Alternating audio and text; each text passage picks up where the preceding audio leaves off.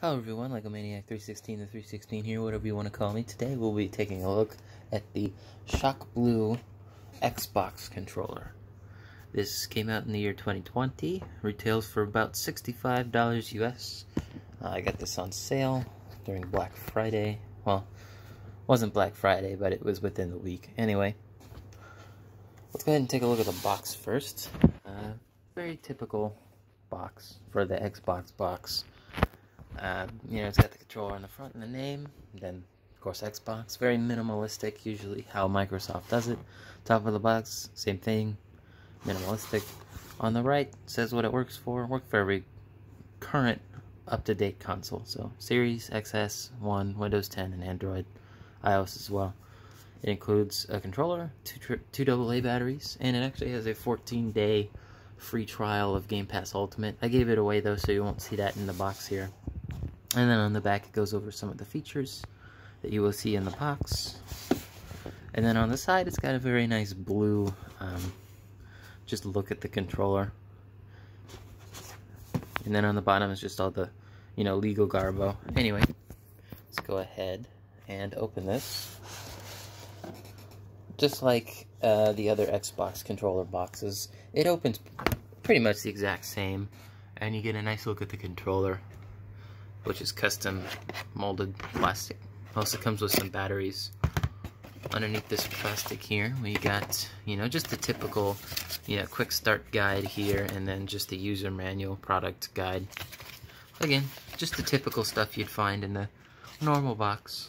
Uh, you know, no uh, tape used on this box either. It's all specifically folded and then shaped. But yeah, there's a, another look at the box and then two not for resale batteries. Anyway, that's the box out of the way. Let's go ahead and take a look at the controller, which is what you're here for. So here's the controller. It is a nice blue color on the front. On the grips, it is also blue. And then, for some reason, they made the back white. Whether this was to cut costs, or because they wanted to have, uh, you know, just a color difference with the controller. Either way, I couldn't tell you. I'm not a controller designer. Let's go ahead and go over just the overall aesthetic. I, at first, when I saw the pictures of these new controllers, I thought they looked kind of cheap. I'm not a, I'm still not a big fan of this flat top without the, you know, uh, molded indent like on the older controllers, but, you know, over time I've gotten kind of used to it. I, like I said, still not a big fan of it, but, you know, you can always, you know, get this, like, custom painted or anything. A couple new things, of course, we have to take a look at. Uh, the D-pad, that's probably the most noticeable thing.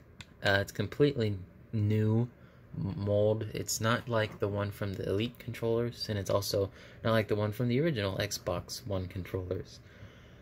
This is a clear evolution of the D-pad, and it is fantastic. I've been playing with it for a couple days now, and it's just so much better. If you look at it, the edges are raised.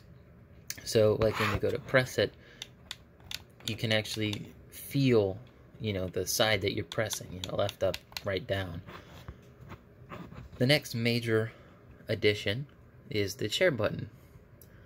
It, it, it, it works like how it used to, where you would double tap this, but instead, you just use this button. You just tap once for a screenshot or hold it to take a video. Next up, just some, uh, you know, aesthetic changes. Like I said, there's, this is not indented anymore. The bumpers uh, from the front are actually spaced out just slightly more. But if we actually go to the top here, you'll see that we have a USB-C port now, which is probably the best addition to the controller next to the D-pad. The bumpers are actually a bit wider. Um, they're about a quarter I think a quarter of a quarter inch uh, larger. So not super significant, but still wider than they used to be. Of course, you got the connect connection button, the Bluetooth there. Uh, the triggers are actually shaped differently. So these ones kind of go up into a curved square, or rectangle, rather. They, they, they feel pretty much the same. Uh, However, the, the best thing, they added a textured grip to them, as you can see. It's a nice, texture. They also did that for the bumpers, but honestly for the bumpers it's not as necessary. Speaking of texture, it's all over the uh, bottom section here on the controller and on the white part as you can see. Anyway, that's probably all the positives about this new controller, but there are a few negatives in my opinion. First of all, if I'm spending $5 for this new controller, why why not make the whole thing blue? You know? Oh, sorry about my finger there. I mean, like, don't get me wrong, I really do like this white color. In person, it comes off a bit differently uh, than in video, but while it is a nice white color, why not just make the whole thing blue? Honestly, I think it was to save money. I would have preferred black even. But, you know. Um, the, the only other thing that I've really had an issue with is this battery cover.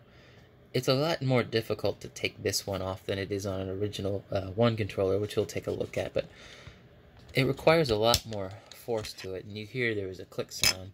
Like I said, I've been using it, so it's this rechargeable battery does not come with it. But uh, this this I did buy this rechargeable battery pack uh, a couple years ago, and yes, it is forwards and backwards compatible. It's pretty much the exact same thing. But yeah, all the typical mumbo jumbo that you would see on a controller. And then that just goes on like that. Otherwise, everything's pretty much the exact same with this controller. So let's go ahead and get one of the older controllers in here. I got the Shadow Volcano here. And uh, yeah, I mean, it's a it's not easy to tell on camera the difference, but it is slightly smaller. Like, uh, it, it's so minimal though. Like it's so hard to tell that this one's slightly smaller than this one.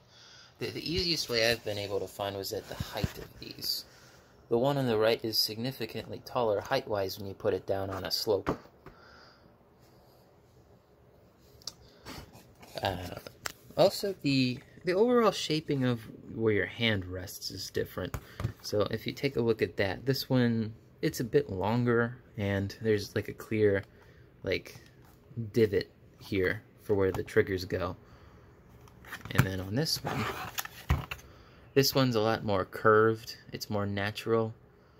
I'd say it's a bit more form-fitting, but I don't really think that. Like, it's pretty much the same. They didn't really do too much, but yeah, this one is more curved, and this bottom section is a lot more rounded, whereas this one is a more clear divot and is a bit longer. But yeah, speaking of the battery pack, you want to see how easy this is to get off. I don't even need two hands. I could just use a finger. Yeah.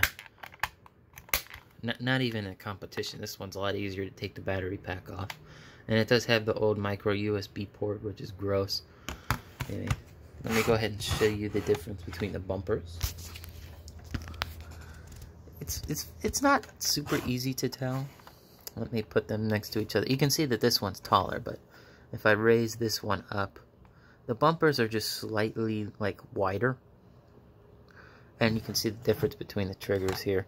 This one is more squared off, whereas this one is curved. And obviously there is um, no textured grip on there.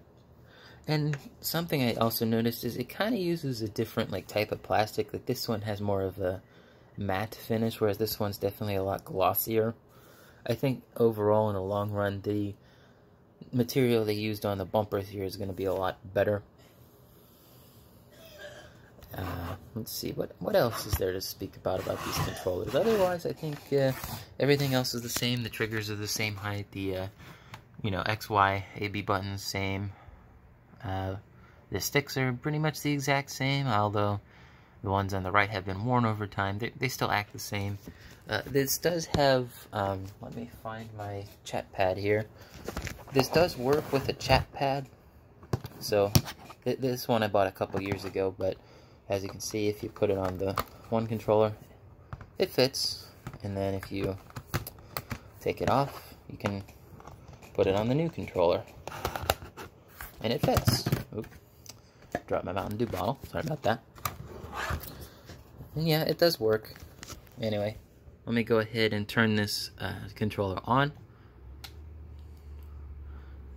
And if you didn't notice before, but the actual Xbox button instead of it being black, is cover colored in blue, whereas you know the old school one is all black. Anyway, I think that goes over all the, you know, just cosmetic changes. Otherwise, uh, I do recommend this controller. I think that it is a natural step to, you know, where we need to be.